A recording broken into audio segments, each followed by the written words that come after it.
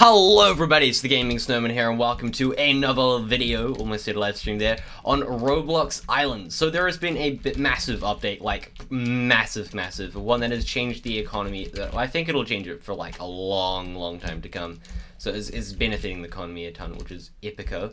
But um, apart from the econ, econ, econ, econ, I cannot speak. Apart from the economy update, there's been some skills and some new you know, the new way to get cows, and there's a new sheep as well, which is going to be pretty cool. So um, I'm just going to be showing you guys how to get cows and sheep. So of course you've got your stunning one, and my guy's just stuck on a toilet. It looks like they've remodeled him, so he looks quite cool. Um, but basically, what you want to do, I'm pretty sure, I'm not sure if you need this for the cow, but so if you go to animal husbandry, um, animal sell price, yeah, cow spawn eggs. So I'm pretty sure you still get this cow to spawn your island um, when you start an island. But um, yeah, so basically you want to pet your cow, take milk from it, you know, feed it wheat, all that kind of stuff. Um, you know, just get wheat and get buckets. So you can get XP this way. So you just be like, hey man, you know, get get a bit of animal animal XP there, feed him, you know, pet him, you know, I get XP for doing all that kind of stuff, and then I get all this, all these new items. But basically, once you've done that, you need to go through your portal. So, yeah, you go through your portal, then you come over to, I believe, this person.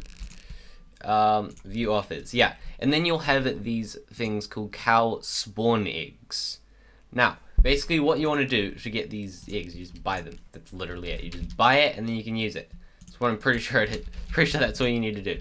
Now, cows. That's something I would like to quickly see. Is there any what's this? Fertility potion stock. Yeah, we've got that. Max large animals oh, you can get higher max plus fertility potion stock. Yo, this do be cool. Holy. You've got auto breeders, wool that Wait, so then do we have sheep later on?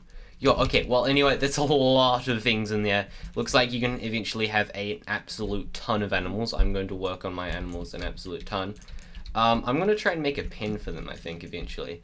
But, um, yeah, I've got a lot of work to do on my island to start sorting all the stuff out. But basically what you want to do is click on it, and it should release.